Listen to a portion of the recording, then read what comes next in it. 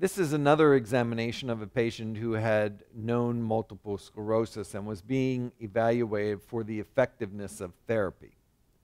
As I stated earlier, I'd like to have up initially the axial FLAIR, the axial T2 weighted scan, and the diffusion weighted scan. In this case, on the right hand side, you're seeing the ADC map that allows us to look for areas of cytotoxic edema without having the issue of T2 shine through. So we can see right from the bat that this patient has a large volume of demyelination. As we scroll through the posterior fossa, initially we're going to let our eyes stray to the T2 weighted scan as the most accurate for identifying demyelinating plaque. As I said, the demyelinating plaques are better seen on the T2 weighted scan, and it's also because of the prevalence of CSF ghosting artifact that you see on FLAIR imaging. FLAIR is particularly susceptible to CSF pulsation artifact, and therefore what we're seeing going through the brainstem on the left-hand side is actually CSF ghosting artifact rather than demyelination. It's not seen on the T2 weighted scan. Yet another argument for using the T2 weighted scan in the posterior fossa. Now, if we look at the T2 weighted scan at this juncture, we are identifying a central area within the pons of demyelination, which is quite hard to see here on the FLAIR imaging. Let's continue to scroll further superiorly. Again, we're seeing some areas in the central pons on the T2 weighted scan that I would call areas of demyelination in this patient, but not really reliably seen on the FLAIR imaging. I think I've made my point. As we scroll further superiorly, we come to the supratentorial region. Now we're going to focus a little bit more on the FLAIR imaging going back and forth. And we see that there is a large volume of demyelination in the periventricular regions as well as in subcortical regions. I generally am not that critical with regard to whether something is subcortical or juxtacortical or deep in the white matter. So, for example, here on the FLAIR scan, we have the pia, the sulcus. And in this example, I would call this a juxtacortical demyelinating plaque. I would call that one as well juxtacortical. I would call this one juxtacortical. Some people, when they're looking at the centrum semiovale, in lesions that are not adjacent to the gray matter we'll use the term deep white matter lesions rather than using it juxtacortical. Why is this, why do I bring this up? Why is this important? Well, the McDonald criteria specify that the four locations are juxtacortical or subcortical, periventricular, infratentorial, and spinal cord lesions. So if you just had lesions like this that are in the deep white matter without being close to the gray matter, would you include them and say that it does indeed fulfill the criteria of two or more locations, i.e., juxtacortical and periventricular, or not? So, depending upon what a stickler you are for the nomenclature, uh, you may count these as juxtacortical or not. Again, as we look at these lesions, we're going to be looking both at the ADC map to see whether there is any area of cytotoxic edema, as well as the post-gadolinium enhanced scans. Now, just looking at these white matter lesions, can I predict which ones are going to show contrast enhancement or not? Uh, that's not something that is easily done on T2 or FLAIR scans. Sometimes you think, ah, this one seems a little different than the other one, so it might show contrast enhancement and be an active plaque.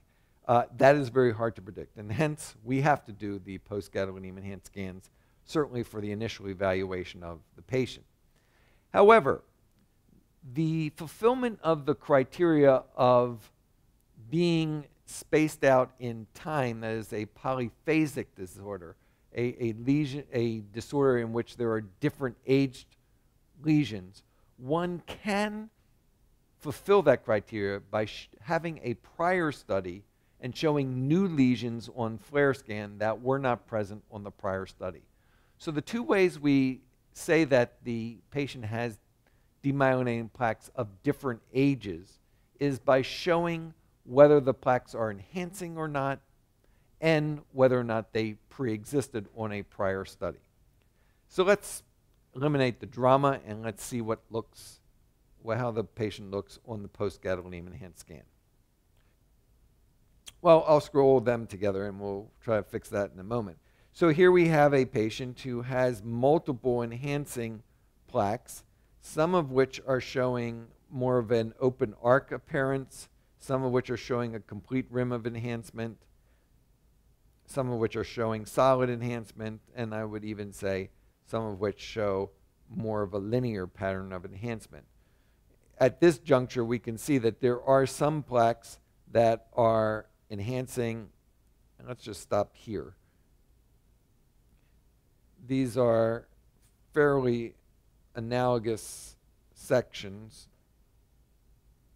Here we have the hand knob area.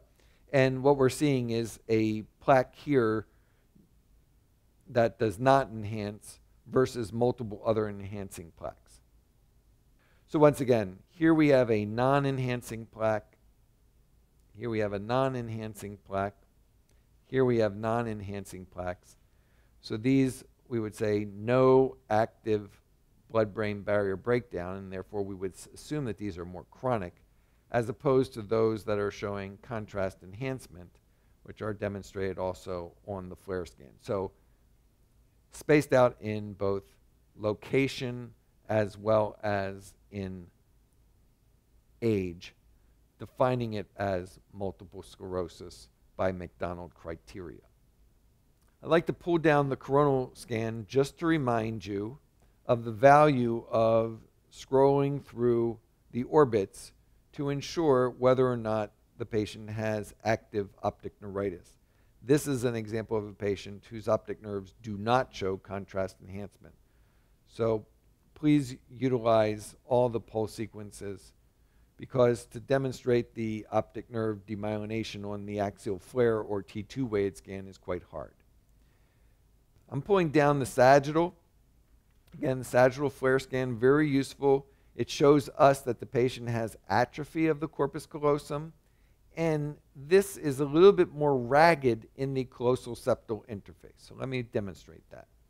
As opposed to the previous case where I showed a fine linear area of bright signal intensity at the callosal septal interface, this has a more ragged area identifying the demyelination of the at the callosal septal interface. And that again is characteristic of multiple sclerosis as opposed to other demyelinating disorders. And you also get a better sense of just how dramatic the demyelination is on the sagittal FLAIR scans. If one were to make a coronal reconstruction from the sagittal scan, you may be able to identify demyelination in the optic nerves that would be another option.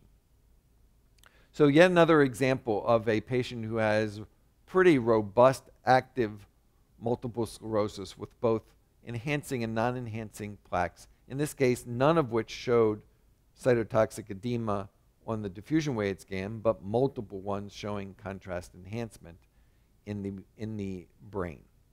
On the sagittal FLAIR scan, you might also get a chance to look at the cervical spine if that has not been separately scanned. In this case, there's nothing dramatic seen in the cervical spine in this patient.